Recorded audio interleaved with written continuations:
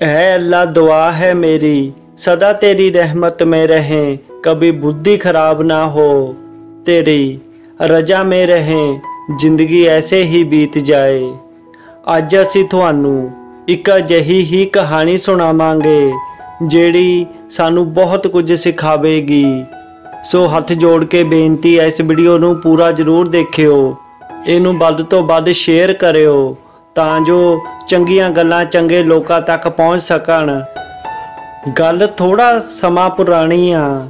ਕਿਸੇ ਪਿੰਡ ਦੇ ਵਿੱਚ ਇੱਕ ਗਰੀਬ ਪਰਿਵਾਰ ਰਿਹਾ ਕਰਦਾ ਸੀ। ਜਿਨ੍ਹਾਂ ਦੇ ਹਾਲਾਤ ਇੰਨੇ ਮਾੜੇ ਸੀ ਕਿ ਕਈ ਵਾਰ ਤਾਂ ਇੱਕ ਵਕਤ ਦੀ ਰੋਟੀ ਵੀ ਨਹੀਂ ਸੀ ਜੁੜਦੀ। ਬੱਚੇ ਅਜੇ ਛੋਟੇ ਸੀ। ਘਰ ਦਾ ਵੱਡਾ ਮੈਂਬਰ ਮਿਹਨਤ ਮਜ਼ਦੂਰੀ ਕਰਦਾ। ਪਰ ਉਹਦੇ ਨਾਲ ਵੀ ਗੁਜ਼ਾਰਾ ਔਖਾ ਹੀ ਚੱਲਦਾ ਸੀ। ਕਈ ਵਾਰੀ ਮਿਹਨਤ ਮਜ਼ਦੂਰੀ ਮਿਲ ਜਾਂਦੀ, ਕਈ ਵਾਰੀ ਸਾਰਾ ਸਾਰਾ ਦਿਨ ਕੰਮ ਹੀ ਨਾ ਮਿਲਦਾ। ਜਿਸ ਦਿਨ ਕੰਮ ਨਾ ਮਿਲਦਾ, ਉਸ ਦਿਨ ਚੁੱਲ੍ਹਾ ਵੀ ਠੰਡਾ ਰਹਿੰਦਾ। ਘਰ ਦੇ ਹਾਲਾਤ ਬਹੁਤ ਜ਼ਿਆਦਾ ਮਾੜੇ ਹੋ ਚੁੱਕੇ ਸੀ। ਉਹਨਾਂ ਨੇ ਇੱਧਰ ਉੱਧਰ ਵੀ ਬਹੁਤ ਨੱਠ ਭੱਜ ਕੀਤੀ, ਬਹੁਤ ਸਾਰੇ ਲੋਕਾਂ ਨੂੰ ਪੁੱਛਿਆ, ਦੱਸਿਆ, ਪਰ ਕਿਤੇ ਉਹਨਾਂ ਨੂੰ ਖੈਰ ਨਾ ਪਈ। ਇਦਾਂ ਹੀ ਜ਼ਿੰਦਗੀ ਔਖੇ ਸੌਖੇ ਗੁਜ਼ਰ ਰਹੀ ਸੀ। ਇੱਕ ਵਾਰ ਅਚਾਨਕ ਉਹਨਾਂ ਦੀ ਮੁਲਾਕਾਤ ਪੀਰਾਂ ਨੂੰ ਮੰਨਣ ਵਾਲੀ ਸੰਗਤ ਦੇ ਨਾਲ ਹੋ ਗਈ। ਉਹਨਾਂ ਨੇ ਉਹਨਾਂ ਨੂੰ ਸਮਝਾਇਆ ਕਿ ਇੱਕ ਵਾਰ ਜੇਕਰ ਤੁਸੀਂ ਲੱਖ ਲਾਲਾਂ ਵਾਲੀ ਸਰਕਾਰ ਉਹਨਾਂ ਦੀ ਬਾਰਗਾਹ ਦੇ ਵਿੱਚ ਦਿਲੋਂ ਦੁਆ ਕਰੋ, ਉਹਨਾਂ ਦਾ ਪੱਲਾ ਫੜ ਲਵੋ, ਤਾਂ ਸ਼ਾਇਦ ਤੁਹਾਡੀ ਜ਼ਿੰਦਗੀ ਬਦਲ ਸਕਦੀ ਆ। ਉਹਨਾਂ ਨੇ ਵੀ ਸੋਚਿਆ ਕਿ ਸਾਰੇ ਪਾਸੇ ਤਾਂ ਭੱਜ ਦੌੜ ਕੇ ਦੇਖ ਲਿਆ। ਜ਼ਿੰਦਗੀ ਵਿੱਚ ਅਜੇ ਤੱਕ ਕੋਈ ਗੱਲ ਚੰਗੀ ਨਹੀਂ ਹੋਈ। ਕੋਈ ਚੰਗਾ ਸਮਾਂ ਨਹੀਂ ਆਇਆ। ਬੱਚੇ ਵੀ ਵੱਡੇ ਹੋ ਰਹੇ ਆ, ਘਰ ਦੇ ਹਾਲਾਤ ਵੀ ਬਹੁਤ ਮਾੜੇ ਆ। ਕਿਉਂ ਨਾ ਇੱਕ ਵਾਰੀ ਇਹ ਵੀ ਅਜਮਾ ਕੇ ਦੇਖ ਲਿਆ ਜਾਵੇ।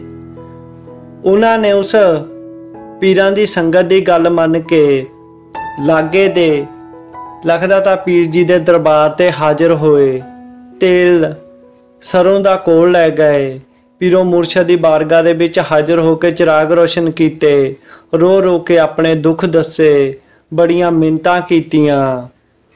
ਉੱਥੇ ਦੇ ਰਹਿਣ ਵਾਲੇ ਫਕੀਰਾਂ ਨੇ ਉਹਨਾਂ ਨੂੰ ਹੁਕਮ ਲਾਇਆ ਕਿ ਤੁਸੀਂ ਪੰਜ ਵੀਰਵਾਰ ਪੀਰਾਂ ਦੇ ਚਿਰਾਗਾਂ ਦੇ ਵਿੱਚ ਤੇਲ ਪਾਓ, ਪੰਜ ਜੇਠੇ ਵੀਰਵਾਰ ਨਿਆਜ਼ ਦਬੋ।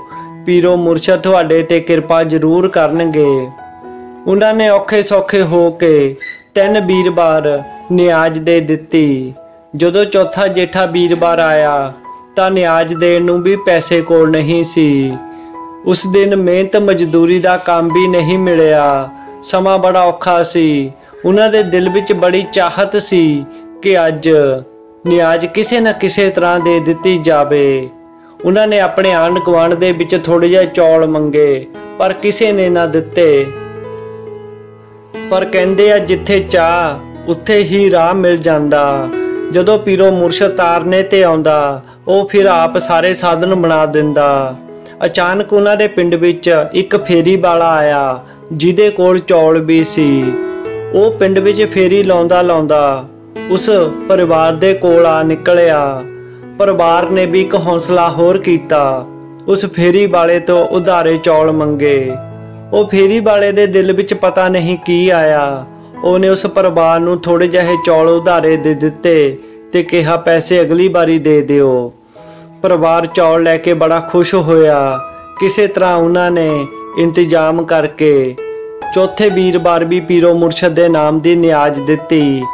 ਚੌਥੇ ਵੀਰਵਾਰ ਦੀ ਨਿਆਜ਼ ਨੇ ਉਹਨਾਂ ਦੀ ਜ਼ਿੰਦਗੀ ਬਦਲ ਦਿੱਤੀ। ਪੀਰੋ ਮੁਰਸ਼ਦ ਨੇ ਉਹਨਾਂ ਦੀ ਇਸ ਸੇਵਾ ਤੋਂ ਇਸ ਮਿਹਨਤ ਤੋਂ ਖੁਸ਼ ਹੋ ਕੇ ਉਹਨਾਂ ਦੀ ਜ਼ਿੰਦਗੀ ਦਾ ਪੁੱਠਾ ਗੇੜ ਸਿੱਧਾ ਕਰ ਦਿੱਤਾ। ਹੌਲੀ ਹੌਲੀ ਉਸ ਸ਼ਖਸ ਨੂੰ ਮਿਹਨਤ ਮਜ਼ਦੂਰੀ ਦਾ ਕੰਮ ਮਿਲਣ ਲੱਗ ਪਿਆ। ਦਿਹਾੜੀ ਵੱਧ ਗਈ। ਘਰ ਦਾ ਖਰਚਾ ਥੋੜਾ ਜਿਹਾ ਆਸਾਨ ਹੋ ਗਿਆ। ਹੁਣ ਬੱਚੇ ਵੀ ਜਵਾਨ ਹੋ ਚੁੱਕੇ ਸੀ। ਪੜ੍ਹ ਲਿਖ ਕੇ ਉਹ ਵੀ ਕੋਈ ਨੌਕਰੀਆਂ ਲੱਭ ਰਹੇ ਸੀ। ਪਰ ਨੌਕਰੀ ਤਾਂ ਨਾ ਮਿਲੀ। ਉਹਨਾਂ ਦੀ ਪੀਰੋ ਮੁਰਸ਼ਦ ਨੇ ਇੰਨੀ ਸੁਣੀ ਕਿ ਉਸ ਪਰਿਵਾਰ ਦਾ ਵੱਡਾ ਲੜਕਾ ਉਹਨਾਂ ਨੇ ਕੈਨੇਡਾ ਵਰਗੇ ਵੱਡੇ ਮੁਲਕ ਵਿੱਚ ਬਾੜ ਦਿੱਤਾ। ਹੌਲੀ-ਹੌਲੀ ਦਿਨ ਬਦਲ ਗਏ, ਜਿੱਥੇ ਪਹਿਲਾਂ ਕੱਖਾਂ ਦੀ ਕੁੱਲੀ ਸੀ, ਚੌਂਦੇ ਮਕਾਨ ਸੀ, ਅੱਜ ਉੱਥੇ ਬਹੁਤ ਵੱਡੀ ਕੋਠੀ ਖੜੀ ਹੋ ਗਈ। ਘਰ ਦੇ ਵਿੱਚ ਗੱਡੀਆਂ ਕਾਰਾਂ ਆ ਗਈਆਂ, ਘਰ ਦੇ ਵਿੱਚ ਨੌਕਰ ਚਾਕਰ ਆ ਗਏ, ਜ਼ਿੰਦਗੀ ਪੂਰੀ ਤਰ੍ਹਾਂ ਬਦਲ ਗਈ। ਉਹ ਪਰਿਵਾਰ ਨੇ ਵੀ ਆਪਣਾ ਵਾਅਦਾ ਨਿਭਾਇਆ। ਹਰ ਜੇਠੇ ਵੀਰਵਾਰ ਨਿਆਜ਼ ਦਿੰਦੇ। ਵੀਰਵਾਰ ਪੀਰਾਂ ਦੇ ਨਾਮ ਦੇ ਚਿਰਾਗ ਰੋਸ਼ਨ ਕਰਦੇ। ਪੀਰਾਂ ਦੇ ਨਾਮ ਦਾਨ ਪੁੰਨ ਕਰਦੇ। ਉਸ ਪਰਿਵਾਰ ਦੀ ਪੂਰੀ ਜ਼ਿੰਦਗੀ ਹੀ ਬਦਲ ਗਈ। ਕਿਸਮਤ ਚਮਕ ਗਈ। ਘਰ ਦੇ ਵਿੱਚ ਕੋਈ ਕਿਸੇ ਤਰ੍ਹਾਂ ਦੀ ਤੰਗੀ, ਪਰੇਸ਼ਾਨੀ ਨਹੀਂ ਸੀ। ਲੋਕ ਵੀ ਉਹਨਾਂ ਦੀ ਤਰੱਕੀ ਦੇਖ ਕੇ ਬਹੁਤ ਜ਼ਿਆਦਾ ਹੈਰਾਨ ਹੁੰਦੇ ਸੀ ਕਿ ਜਿਨ੍ਹਾਂ ਕੋਲ ਕੱਲ ਤੱਕ ਖਾਣ ਨੂੰ ਰੋਟੀ ਨਹੀਂ ਸੀ ਅੱਜ ਉਹ ਕੋਠੀਆਂ ਗੱਡੀਆਂ ਕਾਰਾਂ ਦੇ ਮਾਲਕ ਹੋ ਗਏ। ਇੰਨੀ ਪੀਰੋ ਮੁਰਸ਼ਦ ਨੇ ਰਹਿਮਤ ਕੀਤੀ।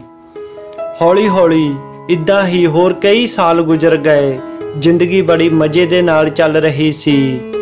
ਇੱਕ ਵਾਰ ਉਹਨਾਂ ਦਾ ਲੜਕਾ, ਜਿਹੜਾ ਕੈਨੇਡਾ ਗਿਆ ਹੋਇਆ ਸੀ, ਵਾਪਸ ਘਰ ਛੁੱਟੀ ਕੱਟਣ ਆਇਆ। ਉਹ ਜਿੱਦਾਂ ਹੀ ਘਰ ਆਇਆ, ਘਰ ਆ ਕੇ ਇੱਕ ਦੋ ਦਿਨ ਰਿਹਾ। ਉਹਨਾਂ ਨੇ ਆਪਣੇ ਘਰ ਦੇ ਵਿੱਚ ਪੀਰੋ ਮੁਰਸ਼ਦ ਦੇ ਨਾਮ ਦਾ ਇੱਕ ਛੋਟਾ ਜਿਹਾ ਪੂਜਾ ਰੂਮ ਬਣਾਇਆ ਹੋਇਆ ਸੀ, ਜਿਹਦੇ ਵਿੱਚ ਉਹ ਬੈਠ ਕੇ ਪੀਰੋ ਮੁਰਸ਼ਦ ਦੇ ਨਾਮ ਦਾ ਚਿਰਾਗ ਰੋਸ਼ਨ ਕਰਦੇ, ਉਹਨਾਂ ਦਾ ਨਾਮ ਸਿਮਰਨ ਕਰਦੇ। ਪੀਰਾਂ ਦੇ ਨਾਮ ਦੇ ਚਿਰਾਗ ਤੇ ਉਹਨਾਂ ਦੇ ਸਰੂਪ ਫੋਟੋਆਂ ਰੱਖੀਆਂ ਹੋਈਆਂ ਸੀ। ਉਹ ਲੜਕਾ ਇੱਕ ਸਵੇਰ ਉੱਠਿਆ ਜਿਹੜਾ ਬਾਹਰੋਂ ਆਇਆ ਸੀ। ਉੱਠਦੇ ਨੇ, ਆਪਣੀ ਮਾਂ ਤੋਂ ਚਾਹ ਮੰਗੀ। ਉਹ ਉਹਦੀ ਮਾਂ ਤੇ ਉਹਦਾ ਘਰ ਵਾਲਾ ਉਸ ਸਮੇਂ ਪੀਰੋ ਮੁਰਸ਼ਦ ਦੇ ਨਾਮ ਦੇ ਚਿਰਾਗ ਰੋਸ਼ਨ ਕਰ ਰਹੇ ਸੀ। ਪੂਜਾ ਰੂਮ ਵਿੱਚ ਬੈਠੇ ਹੋਏ ਇਬਾਦਤ ਕਰ ਰਹੇ ਸੀ। ਉਸ ਲੜਕੇ ਨੇ ਦੋ ਤਿੰਨ ਵਾਰੀ ਚਾਹ ਮੰਗੀ, ਪਰ ਉਹਨੂੰ ਚਾਹ ਨਾ ਮਿਲੀ। ਗੁੱਸੇ ਵਿੱਚ ਉਹ ਆਪਣੇ ਕਮਰੇ ਵਿੱਚ ਉੱਠ ਕੇ ਬਾਹਰ ਆਇਆ ਤਾਂ ਦੇਖਿਆ ਉਹਦੇ ਘਰ ਦੇ ਪੂਜਾ ਰੂਮ ਵਿੱਚ ਬੈਠੇ ਹੋਏ ਨਾਮ ਸਿਮਰਨ ਕਰ ਰਹੇ ਸੀ। ਇਹ ਗੱਲ ਉਹਨੂੰ ਚੰਗੀ ਨਾ ਲੱਗੀ, ਉਹਨੂੰ ਇਸ ਗੱਲ ਤੇ ਬੜਾ ਗੁੱਸਾ ਲੱਗਿਆ ਕਿ ਮੈਂ ਕਈ ਚਿਰ ਤੋਂ ਚਾਹ ਮੰਗ ਰਿਹਾ ਪਰ ਮੇਰੇ ਘਰ ਦੇ ਮੇਰੀ ਗੱਲ ਨਹੀਂ ਸੁਣ ਰਹੇ। ਗੁੱਸੇ ਵਿੱਚ ਆ ਕੇ ਉਹਨੇ ਪੀਰਾਂ ਦੇ ਨਾਮ ਦੇ ਜਿਹੜੇ ਚਿਰਾਗ ਰੋਸ਼ਨ ਹੋਏ ਹੋਏ ਸੀ, ਉਹ ਖੰਡਿਤ ਕਰ ਦਿੱਤੇ, ਤੋੜ ਦਿੱਤੇ। ਪੀਰਾਂ ਦੇ ਸਰੂਪ ਉਹ ਵੀ ਤੋੜ ਦਿੱਤੇ ਤੇ ਘਰੋਂ ਬਾਹਰ ਕੱਢ ਦਿੱਤੇ। ਉਹਦੇ ਮਾਪੇ ਨੇ ਉਹਨਾਂ ਨੂੰ ਬੜਾ ਰੋਕਿਆ, ਉਹਨੂੰ ਬੜਾ ਸਮਝਾਉਣ ਦੀ ਕੋਸ਼ਿਸ਼ ਕੀਤੀ। ਮਾਫੀ ਵੀ ਮੰਗੀ ਪਰ ਉਹ ਲੜਕੇ ਦੇ ਸਿਰ ਤੇ ਤਾਂ ਜਿਵੇਂ ਭੂਤ ਸ਼ੈਤਾਨ ਸਵਾਰ ਹੋ ਚੁੱਕਾ ਸੀ।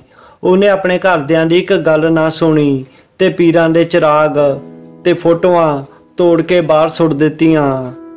ਪੂਰਾ ਪਰਿਵਾਰ ਬੜਾ ਦੁਖੀ ਸੀ, ਪਰ ਉਹ ਹੰਕਾਰੀ ਜੋ ਕੈਨੇਡਾ ਦਾ ਮਾਣ ਕਰਦਾ ਸੀ, ਡਾਲਰਾਂ ਦਾ, ਪੈਸਿਆਂ ਦਾ ਮਾਣ ਕਰਦਾ ਸੀ, ਉਹਨੂੰ ਆਪਣੇ ਇਸ ਕੰਮ ਤੇ ਕੋਈ ਪਛਤਾਵਾ ਨਹੀਂ ਸੀ। ਉਲਟਾ ਉਹ ਤਾਂ ਖੁਸ਼ ਹੋ ਰਿਹਾ ਸੀ ਕਿ ਅਸੀਂ ਆਪਣੀ ਮਿਹਨਤ ਦੇ ਨਾਲ ਬਣੇ ਆ। ਸਾਡੀ ਕਿਸਮਤ ਦੇ ਵਿੱਚ ਇਹ ਸਭ ਕੁਝ ਲਿਖਿਆ ਸੀ, ਸਾਨੂੰ ਤਾਂ ਮਿਲਿਆ। ਉਹਨੂੰ ਪੀਰਾਂ ਤੇ ਕੋਈ ਯਕੀਨ ਨਹੀਂ ਸੀ। ਉਹਨੂੰ ਲੱਗਦਾ ਸੀ ਜੋ ਕੁਝ ਹੋਇਆ ਸਭ ਕੁਝ ਮੈਂ ਕੀਤਾ। ਇਸੇ ਵਜ੍ਹਾ ਦੇ ਨਾਲ ਉਹਨੇ ਇਹ ਪੂਜਾ ਰੂਮ ਖੰਡਿਤ ਕਰ ਦਿੱਤਾ, ਸਭ ਕੁਝ ਤੈਸ ਨੈਸ ਕਰ ਦਿੱਤਾ। ਹੌਲੀ ਹੌਲੀ ਥੋੜੇ ਦਿਨ ਗੁਜ਼ਰੇ। ਉਹ ਲੜਕੇ ਦੀ ਸੰਗਤ ਥੋੜੇ ਜਿਹੇ ਅਜਿਹੇ ਮੁੰਡਿਆਂ ਦੇ ਨਾਲ ਹੋ ਗਈ, ਜਿਹੜੇ ਗਲਤ ਕੰਮ ਕਰਿਆ ਕਰਦੇ ਸੀ, ਨਸ਼ਾ ਪਤਾ ਕਰਿਆ ਕਰਦੇ ਸੀ। ਉਹ ਉਹਨਾਂ ਦੀ ਸੰਗਤ ਵਿੱਚ ਬੈਠਣ ਲੱਗ ਪਿਆ। ਪੈਸਾ ਕੋਲ ਖੁੱਲਾ ਸੀ। ਪਹਿਲਾ ਪਹਿਲਾ ਉਹਨੇ ਉਹਨਾਂ ਮੁੰਡਿਆਂ ਤੋਂ ਫ੍ਰੀ ਨਸ਼ਾ ਕੀਤਾ, ਫਿਰ ਹੌਲੀ-ਹੌਲੀ ਆਪਣੇ ਪੈਸਿਆਂ ਦਾ ਕਰਨ ਲੱਗ ਪਿਆ। ਉਧਰੋਂ ਵਾਪਸ ਜਾਣ ਦੀ ਤਰੀਕ ਵੀ ਨੇੜੇ ਆ ਰਹੀ ਸੀ, ਪਰ ਉਹ ਲੜਕਾ ਦਿਨੋਂ ਦਿਨ ਗਲਤ ਕੰਮਾਂ ਦੇ ਵਿੱਚ ਵੜ ਰਿਹਾ ਸੀ। ਉਹਦੇ ਹਾਲਾਤ ਬੁਰੇ ਹੋ ਰਹੇ ਸੀ। ਹੌਲੀ-ਹੌਲੀ ਉਹਦੇ ਵਾਪਸ ਜਾਣ ਵਾਲੀ ਤਰੀਕ ਵੀ ਗੁਜ਼ਰ ਗਈ। ਘਰਦਿਆਂ ਨੂੰ ਵੀ ਪਤਾ ਲੱਗ ਗਿਆ ਤਾਂ ਘਰ ਦਾ ਸਾਰਾ ਹੀ ਮਾਹੌਲ ਗਮਗੀਨ ਹੋ ਗਿਆ। ਘਰ ਦੇ ਵਿੱਚ ਕਲੇਸ਼ ਰਹਿਣ ਲੱਗ ਪਿਆ। ਘਰ ਦੇ ਹਾਲਾਤ ਫਿਰ ਤੋਂ ਦੁਬਾਰਾ ਖਰਾਬ ਹੋਣ ਲੱਗ ਪਏ। ਹੌਲੀ-ਹੌਲੀ ਹੋਰ ਦਿਨ ਗੁਜ਼ਰੇ ਤਾਂ ਘਰ ਦੇ ਹਾਲਾਤ ਬਹੁਤ ਜ਼ਿਆਦਾ ਮਾੜੇ ਹੋ ਗਏ, ਬਹੁਤ ਜ਼ਿਆਦਾ ਬੁਰੇ ਹੋ ਗਏ। ਉਹ ਲੜਕਾ ਵੀ ਇੱਧਰ ਜੋਗਾ ਹੀ ਰਹਿ ਗਿਆ, ਵਾਪਸ ਨਾ ਗਿਆ। ਉਸ ਲੜਕੇ ਦੇ ਕੋਲ ਜਿੰਨੇ ਪੈਸੇ ਸੀ, ਸਾਰੇ ਨਸ਼ਿਆਂ ਦੇ ਵਿੱਚ ਉੱਡ ਗਏ, ਗਲਤ ਕੰਮਾਂ ਦੇ ਵਿੱਚ ਉੱਡ ਗਏ। ਹੁਣ ਉਹ ਘਰੋਂ ਚੋਰੀਆਂ ਕਰਨ ਲੱਗ ਪਿਆ, ਜਾਂ ਬਾਹਰੋਂ ਲੈ ਕੇ ਖਾਣ ਲੱਗ ਪਿਆ। ਹੌਲੀ-ਹੌਲੀ ਹਾਲਾਤ ਹੋਰ ਜ਼ਿਆਦਾ ਵਿਗੜ ਗਏ। ਘਰਦਿਆਂ ਨੇ ਦੇਖਿਆ ਕਿ ਇਹ ਹਾਲਾਤ ਇਦਾਂ ਨਹੀਂ ਸੁਧਰਨਗੇ। ਉਹਨਾਂ ਨੇ ਦੁਬਾਰਾ ਆਪਣੇ ਪੀਰੋ ਮੁਰਸ਼ਦ ਨੂੰ ਯਾਦ ਕੀਤਾ। ਉਸੇ ਫਕੀਰ ਦੇ ਕੋਲ ਗਏ। ਜਿਸ ਨੇ ਉਹਨਾਂ ਨੂੰ ਸਿੱਧੇ ਰਾਹ ਪਾਇਆ ਸੀ। ਫਕੀਰਾਂ ਨੇ ਉਹਨਾਂ ਨੂੰ ਦੱਸਿਆ ਕਿ ਤੁਸੀਂ ਕੀ ਗਲਤੀ ਕੀਤੀ ਆ?